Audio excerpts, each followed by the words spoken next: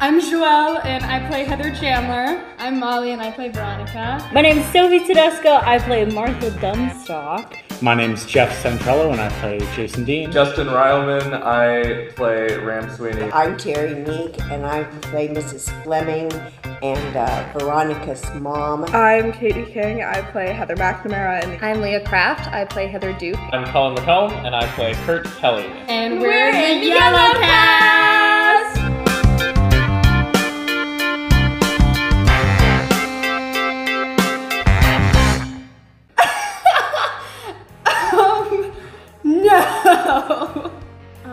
Also like the color blue, and I also, my type is toxic men, so.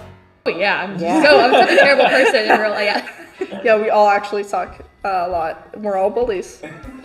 Well, bully. I am a mom and I have said some of those things to my boys. You're not going out with that girl. I like that Martha is like an optimist. I think that she sees the good in everybody. I think that like people think that she's stupid, so I think they kind of look over the fact that she's pretty much the only one that figures JD out. So, as far as my character goes, I would like to think I'm nothing like JD. uh, however, his connection to his mother resonates with me, and I have experienced a lot of loss in my life, so I do connect to that part of him. I just don't handle it in the same way he does, which is good.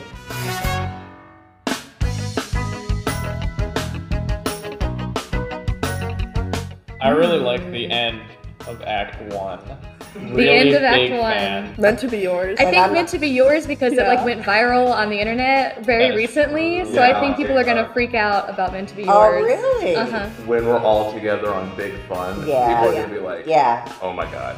The sex scene. Definitely that. Or Or, um, 17. yeah. Any sort of, or maybe the end of Act One. Any any duet that happens between the female and male lead, or anytime they're like doing anything because they're crazy. The number Never Shut Up Again will keep the audience from never shutting up again about this show.